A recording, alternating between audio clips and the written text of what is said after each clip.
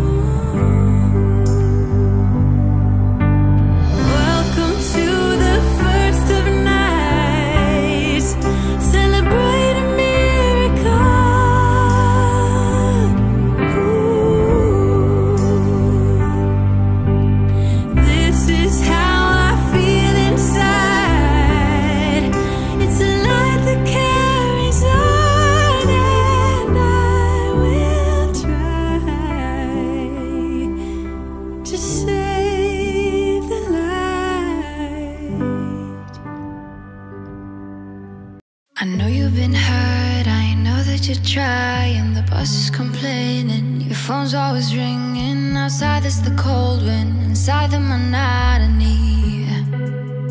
Baby, we need an exit from this. Honey, we need that sweet release. I know it will feel them, the electric feelings. You and me all night, yeah, be alright. If you close your eyes, close your eyes, feel the sunlight, baby, we'll fly.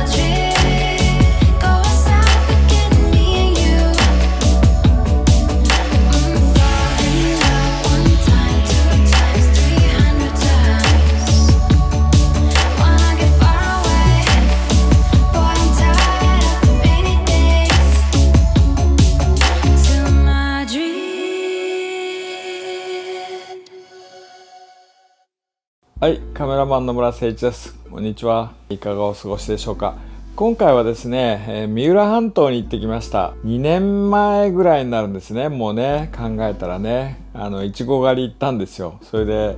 まあ今年もねいちご狩り行こうっていうことでもういちご狩りもねギリギリだったんですよね。行ってね。もう最後ぐらいですかね、まあ、たくさん食べるぞ なんて思って行ったんだけど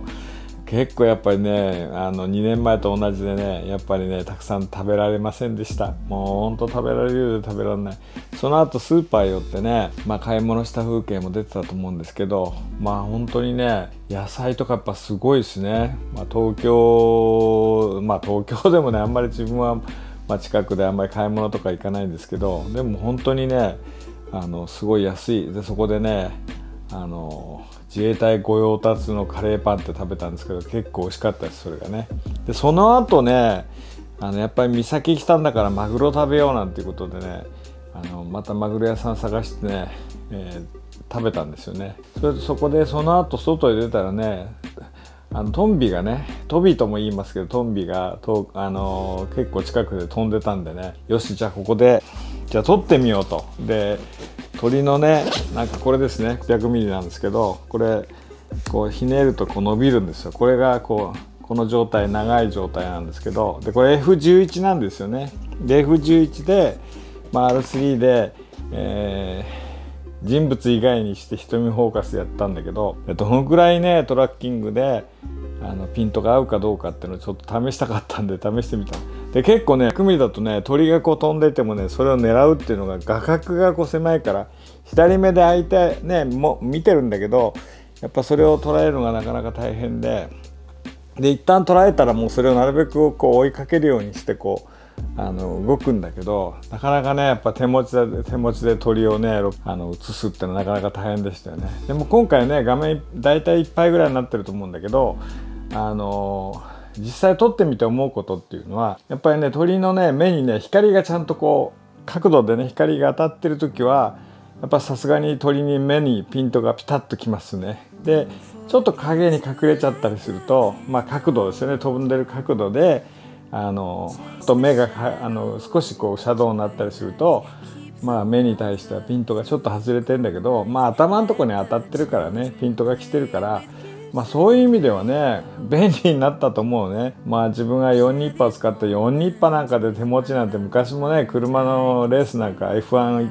モナコグランプリに行った時 F1 を取ったりもしたんだけどまあその時以来かな手持ちでっていうのはね。まあ新宿御苑でもね前に色テストした時にやってたんだけどあの時はねまあ一脚もつけたりしてたからね、まあ、そこの違いが今回あったと思うんですね。今回はもう一脚じゃなくて あの一脚なんかつけてたらとてもじゃないけど鳥なんか追えないから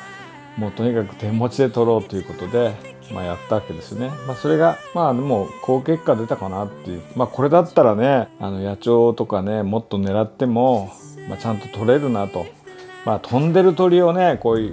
くらトンビといっても飛んで動いてるからこうこうかけるのがなかなかね難しかった。でもまあ自分としては、まあ、初めての体験っていう感じでしたかね。帰りにその後湘南寄ってあの海もねちょっと撮ったんだけども日没ギリギリぐらいで着いたので結構ねもうちょっと撮ったらもう暗くなってしまったんですけど、まあ、そこでねライカ Q2 を使って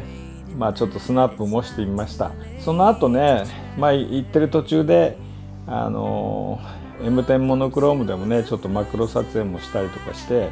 まあ、そういう感じでねもっと本当はいろいろ撮ろうと思ったんだけどなかなかねこう行ってあのすぐに行こうっていうよりまず食べる方になんかね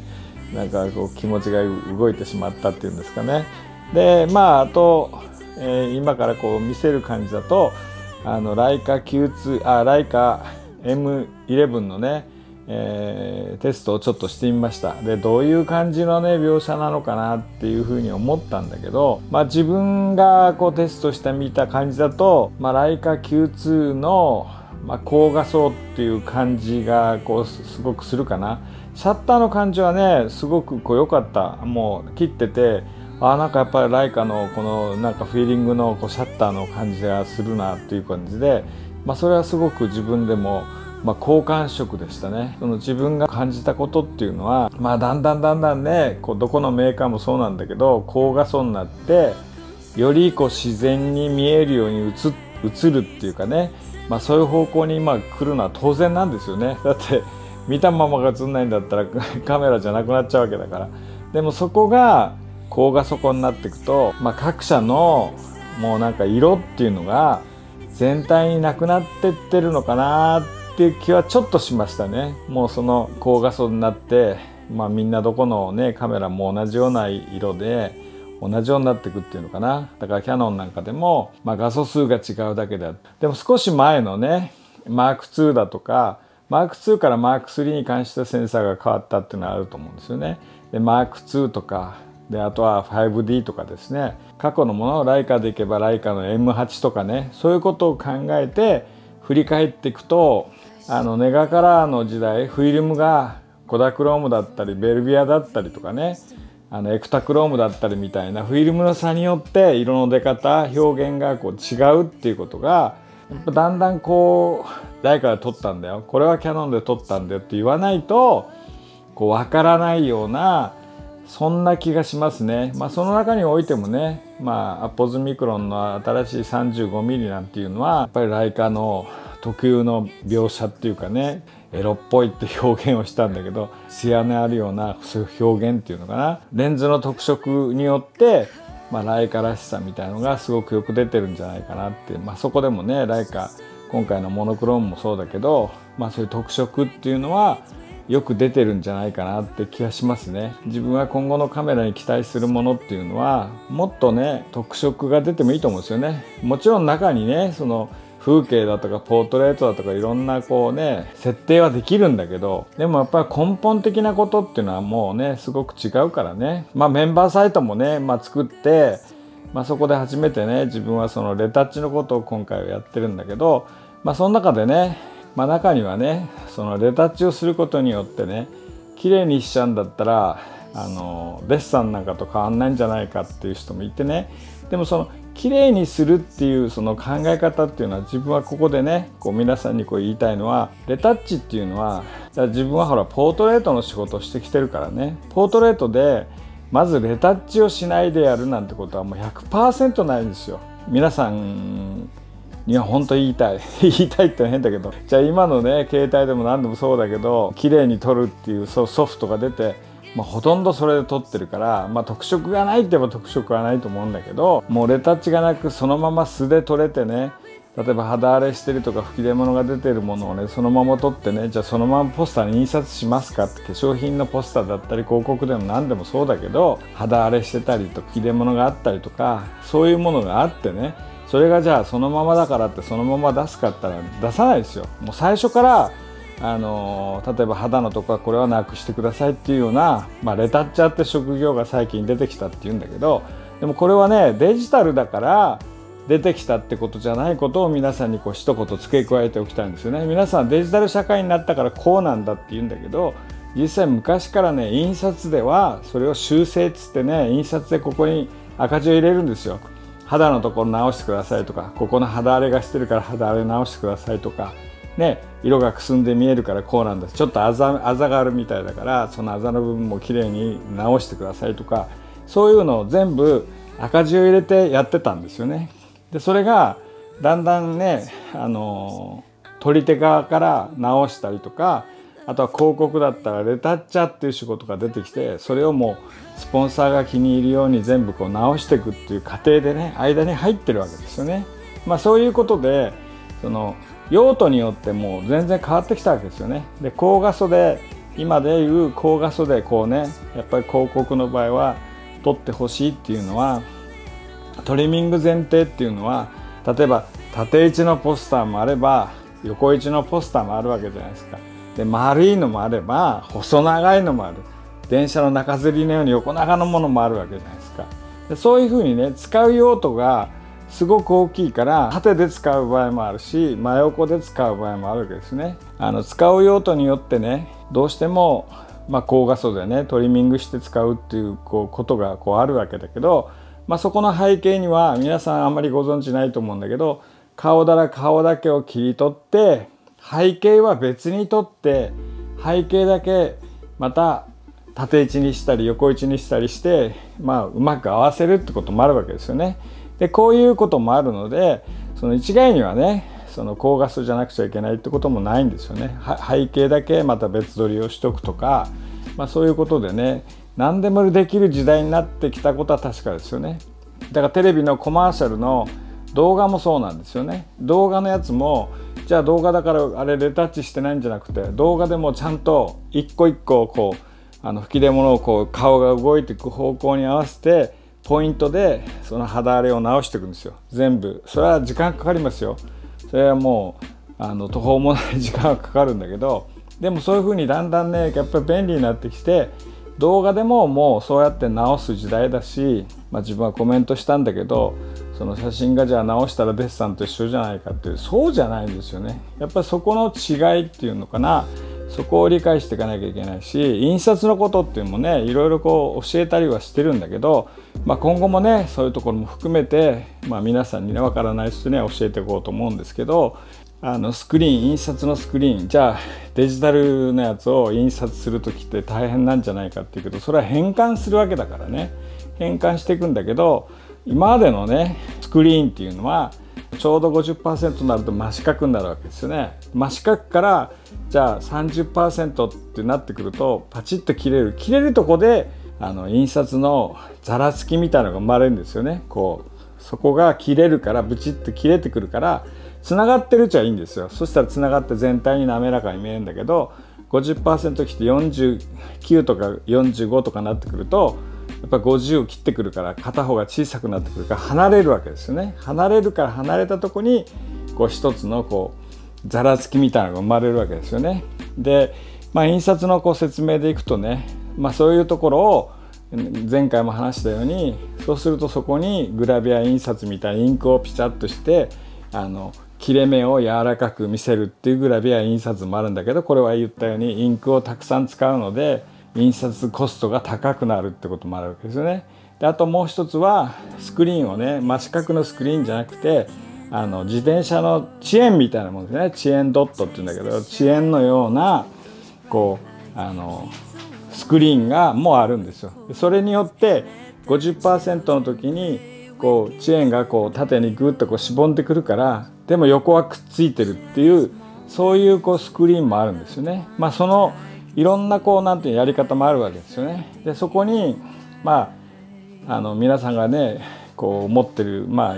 ああのプリンターですよねプリンターなんかだと6色とか数が増えてくればその隙間のとこに補色を埋めていくから滑らかになっていくし色の再現も良くなるわけですよね。印刷だと今だと主流っていうのはまだ4色だから6色っていうとそれだけねやっぱ色数が多くなるから高くなるわけですよね。であともう一つ言いたいことっていうのはこれも質問にあったんだけどプリンターと印刷っていうのは違いがすごくあるんじゃないかみたいなことまあちょっとね僕が聞き違えてたらちょっと申し訳ないけどでもこれはねエプソンのプリンターと印刷のあのものってのはもう全く違うんですよ。だって高速輪転機でね1枚じゃなくて面付けしてこうドラムであのなんていうの紙がほらこう丸まったパあのトイレットペーパーみたいなってそれでどんどん回転して印刷していくみたいなやつっていうのはもう本当に高速で吸っていくからものすごい勢いでするわけですよねちょっと違うんですよね。でそういうことをねまああのもっと知りたいって方もいると思うんだけどこれはもうあくまでも印刷の印刷の状態だからね私の30年ぐらい前の普通の雑誌に載っていた文字が載っているものを文字をなくしてで綺麗に変換して今の最近撮ったような感じぐらいにできる技術っていうのは一回自分もね何年か前に経験したんだけどやっぱそのぐらい技術っていうのはもう進歩してるし印刷技術もすごい進歩してるんですよね。まあ、そういったこともね含めてまあ自分はそのメンバーサイトでもそういう意見にはなるべく答えていこうと思ってるんですね。もっとこう知りたいこともいろいろあると思うんだけどまずはそのソフトの使い方もそうですよね。レタッチもそうだし自分は今までのねあの YouTube でやってこなかったんだけどまあそういったこともねまあメンバーサイトの中では細かくこういうふうにするんだよって。そうするとそれに対して疑問を持たれる方もいるんだけどもうあくまでもあの直さない写真を撮って直さないものなんてのはもう必ず修正加えられてるってこと。雑誌の場合ね。印刷のことですよ。それはあの撮った写真でねそのまま出さなくちゃいけないっていうねその考え方もあると思うけどあの例えばじゃあよくねカメラで取って出しっていうんですよね。取って出しっていうのは修正を加えていない何も加えてないからっていうねことを取って出しっていうんだけど取って出しでもしねじゃあはいゴミが映ってたらどうするんですか？ってそれは直さないんですか？ってなっちゃうわけじゃないですか。だからやっぱりそのねあのそこまで行くとねなかなかねこういたちごっこでねこうなんだろうああなんだろうってことでどんどんこうなっていくとねもう終わりが見えないから妥協ってのは良くないけどでもこうなんだとそのいう感じのところまで理解いただければもっとこう写真が楽しくなっていくと思うんですよね。もうそういうふうにこう決めていやもうこうなんだと決めてもう絶対修正しちゃいけないんだとって言ったらね写真なんて成立しないからもう昔のフィルムだってじゃあね修正しないかったらフィルターかけて色を変えたりとかねバランスを変えたりしてったわけじゃないですか。ね露出を変えたりもそうだしね昔はそのフィルターをいろいろこう駆使してやってたじゃあこれが今はソフトでできるようになったって便利になっただけでね。じゃあ昔やらなかったかって言ったらやらなくはないんですよ。モノクロだって何だって修正を加えてるし全くアナログ時代だからやらなかったってことじゃないんですよね。まあコダクロームなんて本当難しいフィルムだったわけですよね。もう東洋現像書ねだけでしか現像ができなかったものもあるわけですよね。でだんだんこうねフィルムがいろんな進化してきていろんなことを遂げてきた。こういったことが今あってデジタルもそうなんだけどデジタルもいろんな多様性があっていろんなものが生まれてきたんだけどさっき言ったようにだんだんやっぱり高画素になってきて色良くなってきて各社が一斉にこうなってくると、まあ、各社の特色はだんだん薄れてきたのかなって気がしますよね。今オートフォーカスが速いとか連続で撮れるとかさっき言ったように瞳フォーカスとかね鳥類でもピントが合うとかそういったことがねこれからのカメラのこう売りになっていくのかなって変わらずいい写真を撮ってほしい、ね、いい作品を撮るっていうその自分の感性っていうかねそのオートじゃなく自分が自分だけで作った世界ですよね。色だってそうですよね。色だって色を極端にこう変えたりとか色の変化をしてやってる写真家だってたくさんいるわけだしそういうことをやることによってね自分だけのテクニックっていうのを磨くことも僕は必要だと思ってるんですよね。皆さんもそういうことをねまあここでちょっとまとまった話になったかどうかちょっと分かんないんですけど、まあ、今後もねこの話とかいろんなことをやっていきましょう。えっ、ー、と今日はありがとうございました。えっ、ー、とまたお会いしましょう。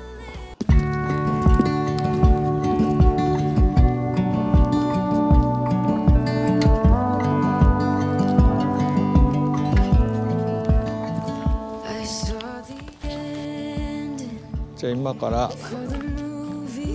今からいちご狩りします。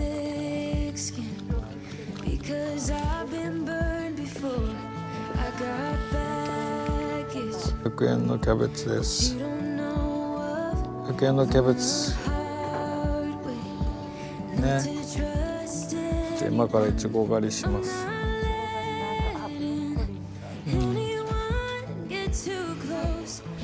はい今からいちご狩りですよ。う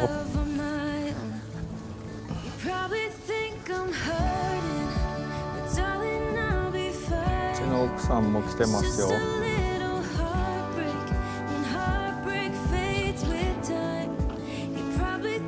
暑くてダメだねこれ。暑いんだねでも結構もうないんだね。だいぶ。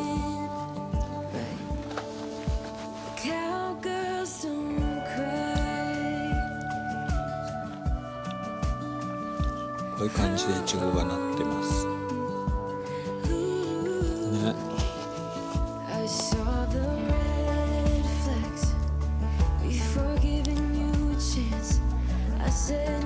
こんなに食えないでもねこれだけ大きいから何個ぐらいあるんだろうね いちごこれ。こ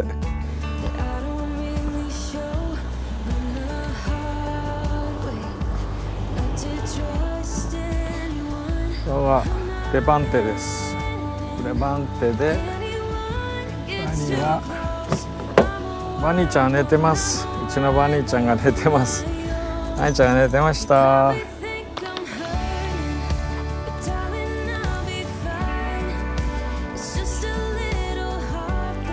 はいうちの愛犬もいますよ。愛犬がいます。すごいよこんなに買っちゃいました。すごいここ。安くて美味しいですよこのね。もうすごい混雑してる。ねすごいですねこれね。うちの奥さんも買い物してます。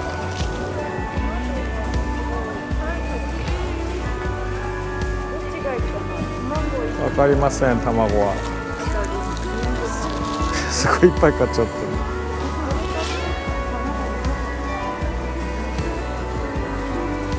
すごいところです。こんなに買っちゃって大変です。ね